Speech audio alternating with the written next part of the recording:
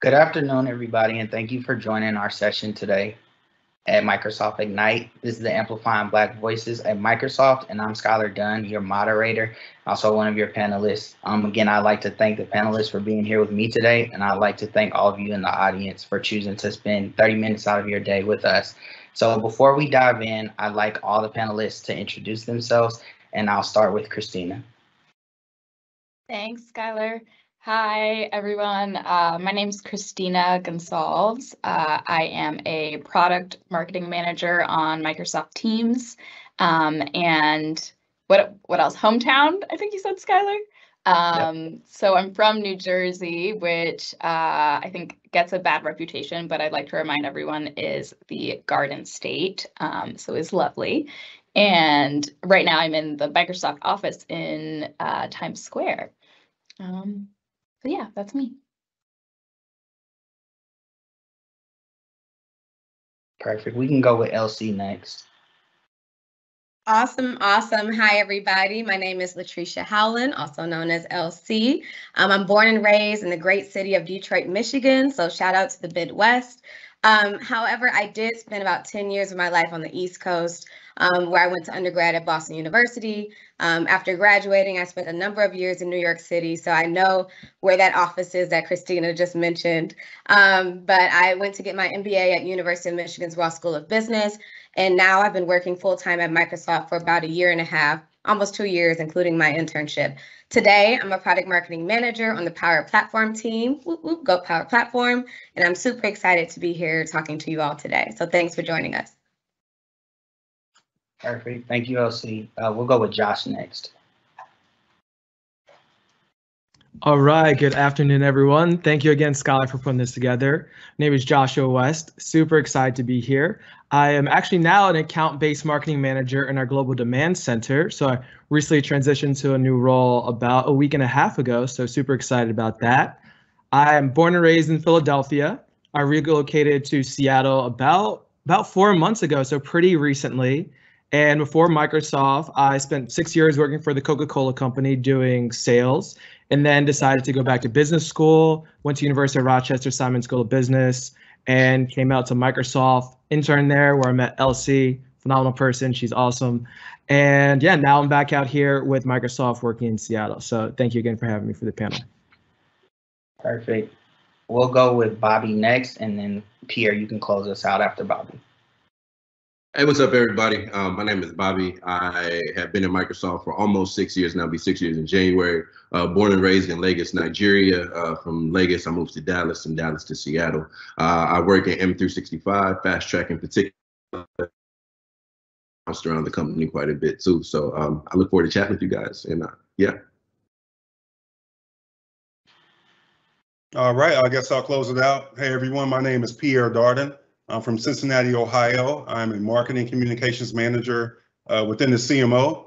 I'm based out of our Dallas office. I've been with Microsoft for about eight years now. Uh, my journey started in the Microsoft retail stores in Cleveland and Pittsburgh.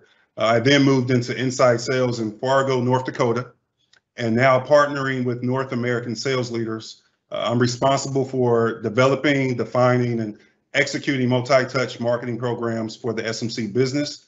Uh, I'm very passionate about D&I and I pride myself on, on my hard work ethic, uh, which I believe stems from my uh, professional athlete, being a professional athlete in China, Mexico, and Venezuela. Perfect. So we have a dope group of, of panelists today. And again, thank you guys for joining me. So I guess that leaves me. My name is Skylar Dunn, and I'm a second year MBA student at the University of Southern California Marshall School of Business. I was born and raised in Las Vegas, Nevada, um, where I originally took my talents to Nashville, Tennessee, um, to Tennessee State University. So shout out to anybody who's at an HBCU on the call. Um, one thing, one thing before I dive in too deep, starting at an HBCU, got told a lot that I wouldn't have a lot of opportunities attending one. But I'm here to shut that down today. If you are an attendee on this call and you're at HBCU, please don't let anybody shut that dream down. Um, HBCUs are dope. They're meant for us. They're built for us, and you can go there and flourish. Um, so, sorry, I had to caveat a little bit. But I end up finished my coll- collegiate journey um, at USC. Undergrad again is Marshall School of Business. I'm graduated with a BS in Business Administration where I worked in tech. So I was living in Silicon Valley for about three and a half years, four years before I decided to pivot and get back into B school because I wanted to be a marketer. And that is what prompted me almost to create this series. Um, and so before I get into the questions with the panelists, we're basically here today because I had this idea in my head of amplifying Black voices at Microsoft. One thing that I noticed um, during my short journey in tech is that oftentimes Black people who work at tech companies are pigeonholed into sales roles. And there's nothing wrong with sales if that's where you want to be. But a lot of us have other ambitions and aspirations, and we want to be in other functions and roles. And for me, I always knew I had the marketing skill set and I was good enough to do it, but I just needed that opportunity to do so. Um, and so that's why I wanted to pivot back to B school to be able to kind of showcase those talents. And so when I got the offer to Microsoft, I actually reached out to Josh um, and we kind of sat down and talked. I'm like, how can I leave an impact like on my internship? Because internships are a dime a dozen. Everybody in B school has to go through one. You have to work at somebody's company to say that you did it to fulfill a credit, you know, and be able to graduate. But I wanted to do an internship where I knew that I was going to make a massive difference and be able to leave like my mark on wherever, um, wherever I decided to intern. And Josh kind of helped lead me to the modern work and kind of humans of IT teams where kind of told me, Skylar, I don't know if we'll be able to get exactly like what you're looking for, but you'll be able to make a difference. So I went to my manager and told her that it was important for me to kind of showcase black talent and how can we do that? How can we have a platform, you know, to be able to showcase that talent and to show people who are interested in getting in tech that it's just not all sales or you don't have to have an engineering degree to be able to work at a big corporate company company like Microsoft that you can have an MBA and be put in a marketing role or a finance role or a business development role that that is possible. So I literally started with two contacts y'all my first day on my internship and from there I received great recommendations from people that I knew outside of Microsoft from inside of Microsoft and this thing just kind of flourished and took off bigger than I could ever imagine. Um, and so I, I'm so so grateful that it did. I'm so grateful that I got to encounter these amazing people. These are only five stories that are y'all that y'all are going to hear today. Um, but there were so many more stories published throughout the summer. Um, and I just hope you guys have the chance to kind of go back and read and actually reach out to these people and, and hear about their stories. So with that being said, um, my first question is to Christina. Why was it important for, for you to actually participate in this series? Skylar, that was such an awesome introduction, and you just completely reminded me of our first conversation um, that we had, where it was so clear to me um, how important it was to you to to to do this work to amplify Black voices at this company. Um, and so, really, the first reason is because Skylar, you asked me to participate in this series, and you're just such an awesome person, and so I knew um, this would be really well done with you at the helm. So I was more than happy to help. Um, but and, and, secondly, I I something I when I was very early in career was pretty shy about, but um, that I've been more comfortable sharing more recently is that I practice Buddhism outside of Microsoft. Um, and in my sect of Buddhism, we believe that the spoken word and the use of your voice, be it out loud or written, um, is one of the most powerful forces out there. And uh, so it was really easy for me to enthusiastically agree to be part of this series. Um, I always feel like I have uh, sort of a cosmic duty to share my story whenever and wherever I'm able to, um, and particularly where I was able to overcome any sort of a struggle. Um, I think it's super important to be able to share that. Um, and I think there are two really important um, ripple effects that come out of that. One, uh, people who see themselves in my experience and in my story um, are able to resonate with it and see part of themselves, better understand their um, their own journey um, and be able to grow themselves from it. And then two, um, people who have a completely different experience and have never encountered anything like um, those those struggles that that I had been through or that you've been through um, are better able to empathize with your experience, and that hopefully makes it so that these struggles happen on a smaller scale and happen less, um, or where that particular struggle is inevitable, they're able to just be a little more sympathetic and more understanding. Um, so I think both of those things together make it so that people are more in control and more in the driver's seat of their lives. And um, we're all able to just generally be more fulfilled and happy. Um, so yeah, I was just, it was important. It's always important for me to share my story. So I was happy to do that. Perfect. Thank you so much for that, Christina. And before I move to LC, Christina was my interviewer, y'all. So Christina is kind of the reason that we're sitting here because if Christina didn't tell me yes, I would have never been a Microsoft intern. So we kind of talked about that before we started, but thanks again, Christina. Like life just comes full circle. I, I had no idea when I was reaching out to Christina that her name that that she was my interviewer. Like I recognized her name, but it wasn't until I seen her face. Like this was the lady that interviewed me. So it was nice to see the thing come full circle. Um, but thanks for the answer again, Christina. And again, thank you for, for, for picking me to be an intern. And so we're going to move to LC.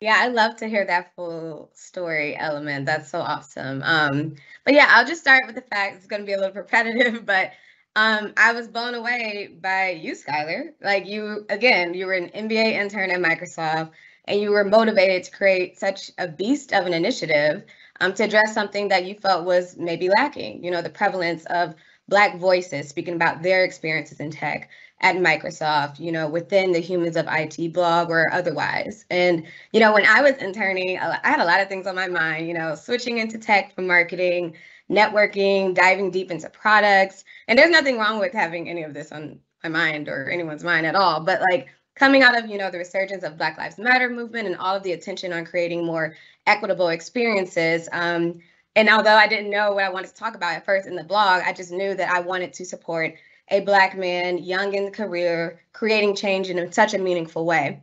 And the second reason is because, um, similar to Christina, you know, writing has always been something that's very cathartic for me. It's a cathartic experience to get my emotions and thoughts out. But I'd never written about my journey, you know, as a double minority, a Black woman from Detroit at that, going through corporate America, going through tech, um, being at ad agencies, working in telco. So I wanted to participate because I wanted to be 100% my honest and authentic self in telling my story so that other Black people, women, minorities, um, or anyone could really understand and, and hear my story.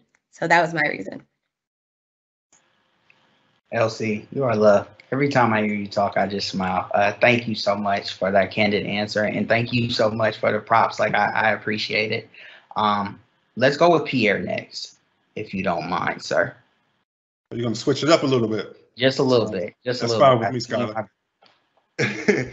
well, I mean, when I think about it, there are so many reasons why I wanted to be a part of this this project, both personally and professionally. Number one, it's an extreme privilege to have been asked to participate um, in this kind of discussion. It's extremely humbling and inspiring that Microsoft is enabling uh, this kind of conversation.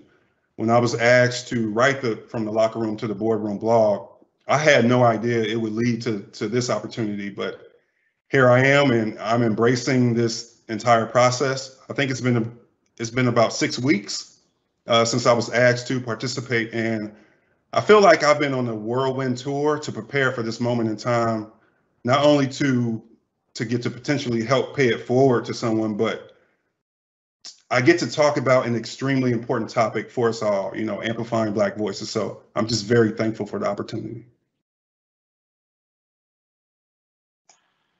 Perfect. Thank you, Pierre.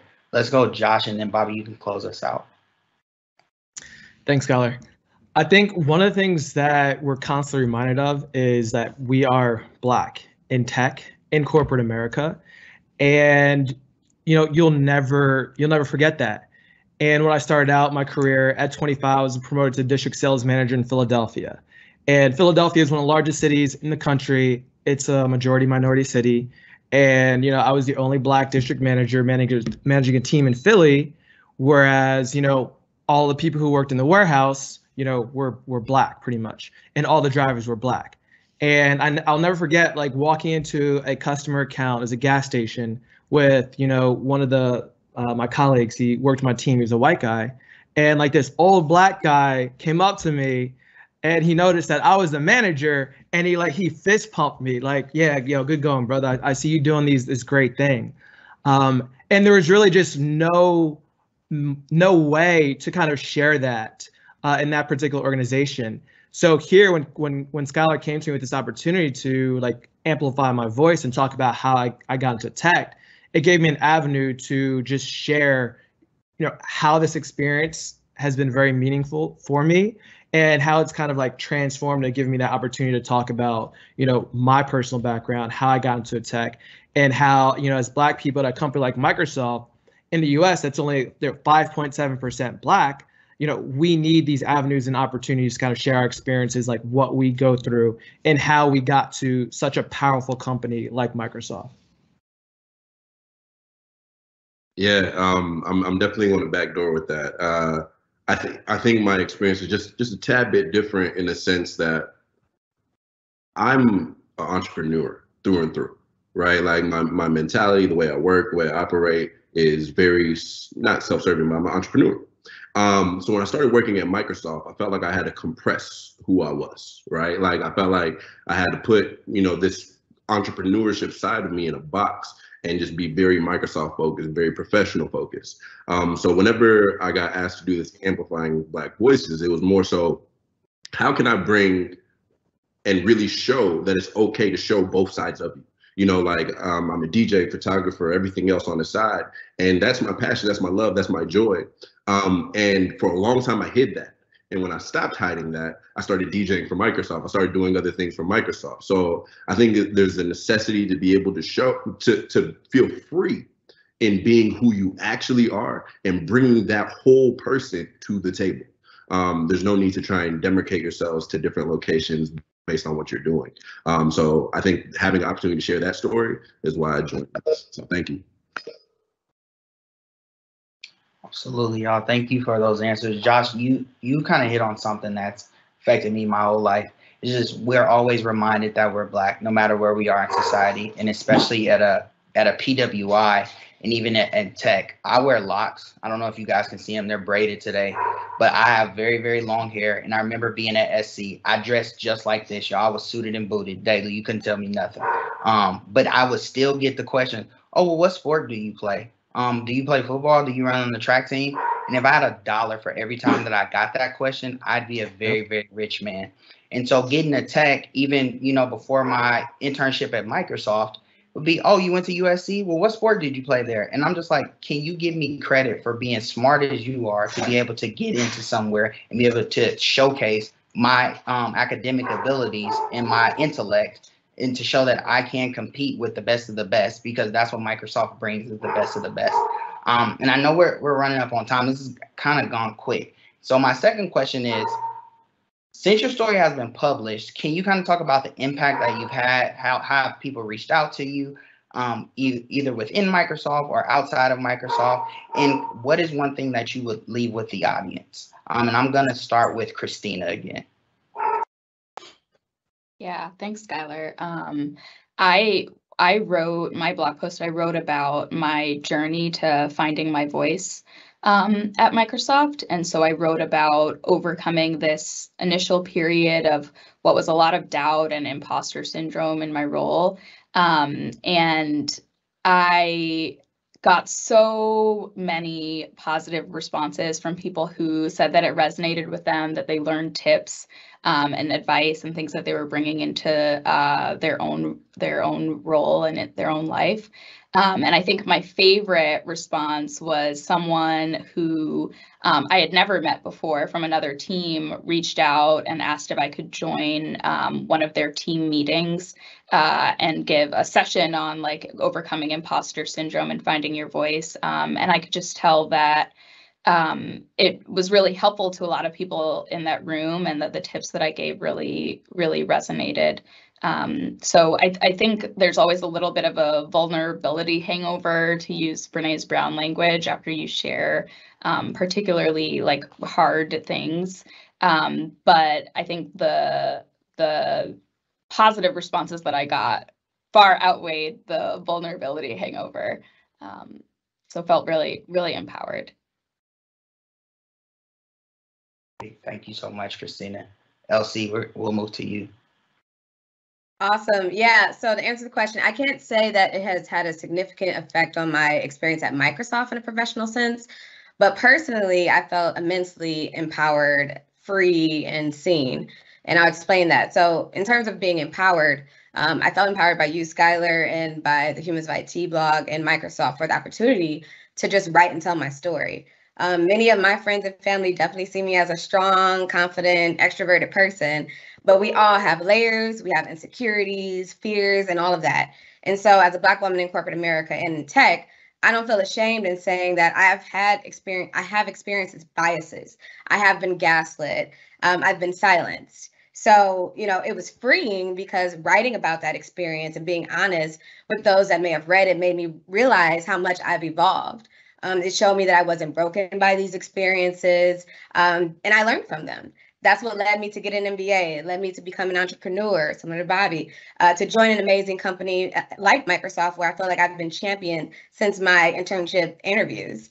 So, and finally, I felt seen because so many people um, contact me on LinkedIn or text or phone calls you know, women, men, black, brown, white, and otherwise, you know, that related to some of my experiences. And we're encouraged to read that um, someone else struggled with those things and overcame them. So all in all, my my advice would be like, do not let your voice be stifled.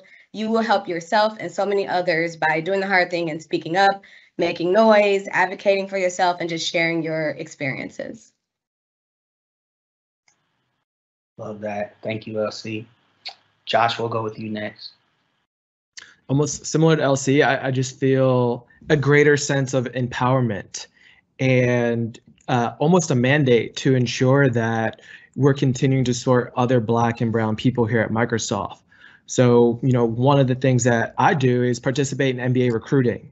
I, you know, make sure I, I know the recruiters, I'm doing the interviews and ensuring that we, like we're getting the most talented Black people on an interview slate and ensuring I'm helping them and meeting with people who reach out to me on LinkedIn and letting them know, like, hey, here are the things that you should be talking about. Here's how you present yourself in an interview. These are the best steps that you can take to ensure like you're going to get into the final round because we need more, you know, black and brown people at Microsoft. Or even so, when someone comes to me and says, hey, there's an opening on my team, do you know somebody who should, you know, I should talk to? And I'm going to make it a point to ensure that it's a black male or female that you know this hiring manager is going to talk to because that's who I believe we need to empower and to put in these these positions. Because far too often like new job openings are coming open and you know always wait and see like okay are we going to get some more people of color in this in this role? So like this particular opportunity is really helping empower me to see like you know this is what i care about like outside of daily work this is what it's going to keep empowering me to to take those steps uh, and, and to keep working on, on what I find passionate. Thanks, Josh. Providing others with opportunity. That's the name of the game. Because sometimes all you need is that opportunity. You just need somebody to see your face and get you in the door. So appreciate that take. Um, Pierre, we can go with you next. Awesome. Um, so I, I, would say my my entire world has shifted uh, a little bit since publishing uh, the blog. Uh, I've been working with my mentor to prepare for this opportunity. Firstly, um, I've enlisted Sydney Mullings, uh, US CMO General Manager, uh, as my sponsor. I've activated social media pl- platforms, LinkedIn, Twitter, uh, Instagram, um, to amplify this opportunity. And I've received incredible support from senior executives uh, at Microsoft. Uh, in fact, I recently had the opportunity to meet with an AI executive to share my story. Uh, Kent Anderson. Uh, a key takeaway from our conversation was about identifying one superpower and then applying it to the market needs. Uh, for the record, I'm still working on my superpower, and I know this is just the beginning of a positive course um, in my career, and I want to help others get to their goals like I've been helped to get to mine.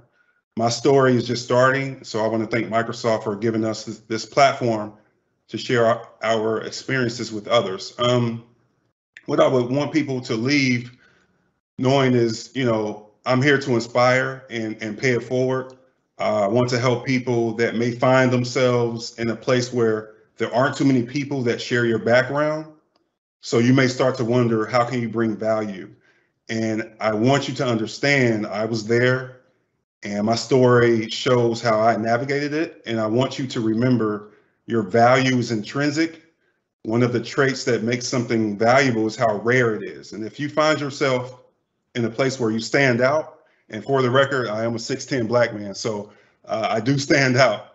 Um, that's not a disadvantage. That's just, you're, you're just rare and you're special. Uh, embrace your distinctiveness, uh, value yourself, and act accordingly. That's my message.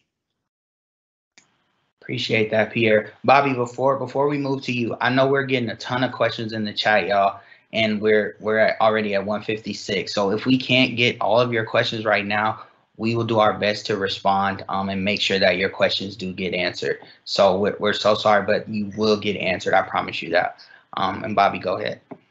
Okay, I'll, I'll be fast. Um, I think the biggest change was like realize helping people realize they could also do what they want to do um, you know, you, you, you kind of write your own story as far as I'm concerned. And I feel like if you're an entrepreneur in any form of fashion, like I had people reaching out to me that really just enjoyed making candles. And they're like, I, I feel like I have to put this on the side because, you know, I have to focus on Microsoft, you know, um, and so it, it, helped me enable other people to equally follow their dreams. You know, um, I don't think one thing has to suffer because you you work in Microsoft or in tech for that matter. I think you can easily do not easily, you can choose to do both and make both happen. And um, I think it's been awesome chatting with all the folks that have reached out ever since uh, the the blog went live. Perfect. Thank you, Bobby. Um, one question that I did see that I want us to try to get to is what is your motivation for for choosing Microsoft? Um, I know I'm not there officially. I'm not there full time capacity, uh, but Pierre, you touched on something really important. You said senior executives have reached out to you, you know, since publishing your blog. Um, I had Chris Capossela reach out to me. He's the CMO um, at Microsoft. Reached out to me on LinkedIn. Reached out to me um, internally while I was still there over the summer, and we'll still keep in contact um, just to say how amazed he was by this project my passion, my dedication for for wanting to do better, um, and for making Microsoft be accountable and for making Microsoft do better. And he loved the fact that this kind of stimulated out of his organization, but even more so of the fact that I was an intern and wasn't scared to get my hands dirty and to go against the grain against anybody saying, "Oh, this is stupid. This doesn't need to happen." Like, why are you only amplifying Black voices? Um, because it's a needed thing. Um, there's two things I can't change about myself. Every day I wake up, I'm black and I'm a man. And so those are going to be the two things that I'm constantly fighting for every day to make sure that my face is seen and that my voice is heard. And so for Chris Capossela, who, if you guys don't know him, he's a, he's a white man, you know, to reach out to me and we had this very candid conversation. I'm like, you know, I, I can see why people want to come here because they value you more than an employee number. He actually cared about what was inside of here and not just what I can produce for him on a dashboard or on an Excel sheet. So I was very appreciative of that. Um, anybody that wants to, to take it after that, feel free. Go ahead. I'd LC. like to, yeah, I, I would say that like, um, you know, I interviewed and got offers from a lot of different tech um, companies, but Microsoft is the only one where I didn't feel like a commodity. I felt like it was a two-way conversation, a reciprocal relationship. And I really did believe when I read the 10K, when I heard about what they were saying about DEI and, you know, backing it up with data, that they were truly invested in that. Um, whether that's, you know, race, ethnicity, LGBTQ plus um, ability or disability, um, mental, like it, it, was all of that. And I see that every day. Like I said, I'm going on two years in total at Microsoft. And it's a company I really feel like really practices what it preaches. It invests resources, money, time, mentorship, championship into its people. And I've seen that as a Black woman and just as, you know, a person here. So um, I really want to double down on that. I really feel like if you want to make change, if you want to make noise, this is a place that you can do that. Um, so I, I, definitely agree with you, Skylar. It's, it's, it's been an, an amazing experience and it's exactly the type of company that I wanted to be at.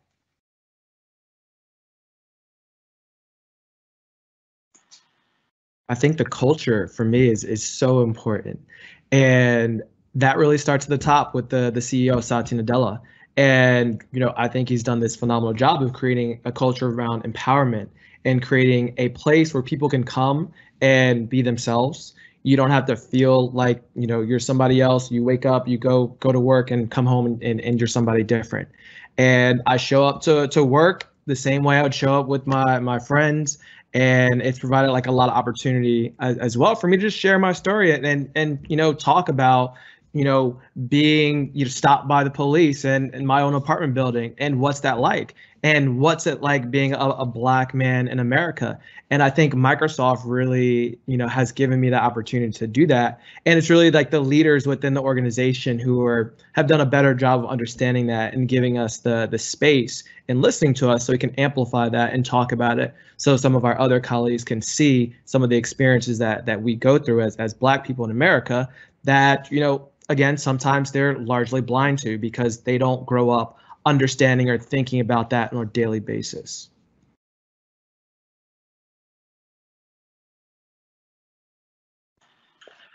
Thank you, Josh. Anything, Christina, Pierre, Bobby, you guys want to add before I close this out?